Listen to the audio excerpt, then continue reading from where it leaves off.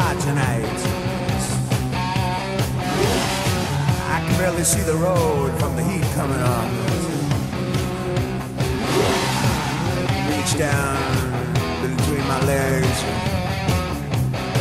ease the seat back.